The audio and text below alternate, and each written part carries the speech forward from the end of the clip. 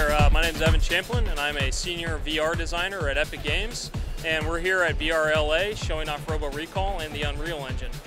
Right now, we're in our fourth iteration of the engine, and we've made a bunch of changes to the engine to support VR, including like doing forward rendering that allows us to do MSAA, and several other changes to the engine that are better for VR. So, one of the things we're showing at VRLA is our mod tools for Robo Recall. So, in addition to releasing the game uh, in March of this year, we also released the full source of the game in the form of a mod kit.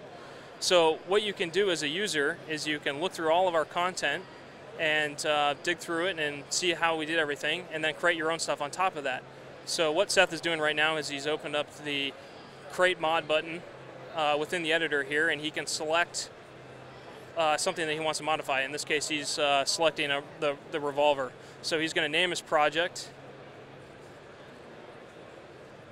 Then after the project is named, it creates a whole new directory structure and a blueprint for that thing that he wants to modify.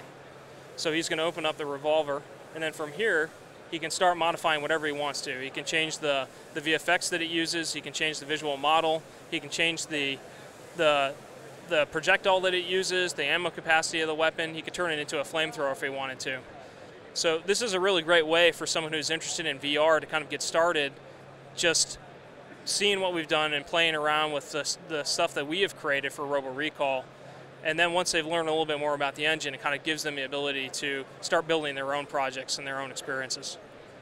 So now Seth's going to access the mod that he created from our Holo Station, which is where the players go in the game to modify their weapons and start missions. And there's a tab on the right side called Mods. Now he can actually load the mod that he has created and have it. once it's selected, you can actually use that in game now. And at this point, he could package the mod up and send to his friends in an email, and then they can double click on it. It installs it into their Robo Recall, and then they can start playing with what Seth created.